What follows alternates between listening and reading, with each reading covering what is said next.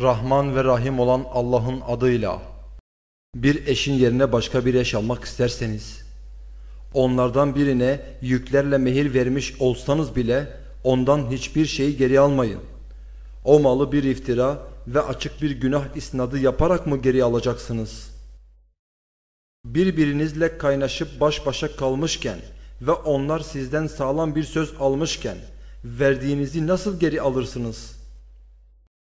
Babalarınızın evlendiği kadınlarla evlenmeyin. Ancak daha önce geçen geçmiştir. Şüphesiz o bir hayasızlıktı. Şiddetli kızgınlığa sebepti. O ne kötü bir yoldu.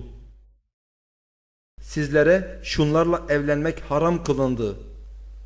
Anneleriniz, kızlarınız, kız kardeşleriniz, halalarınız, teyzeleriniz, erkek kardeşleriniz, erkek kardeşlerinizin kızları, kız kardeşlerinizin kızları, sizi emziren süt anneleriniz, süt kız kardeşleriniz, karılarınızın anneleri, kendileriyle cinsel ilişkide bulunduğunuz karılarınız olup evlerinizde bulunan üvey kızlarınız, eğer anneleriyle cinsel ilişkide bulunmamış iseniz, üvey kızlarınızla evlenmenizde sizin için bir sakınca yoktur. Kendi sulbünüzden gelen oğullarınızın eşleriyle evlenmeniz ve iki kız kardeşi bir arada almanız da haram kılındı.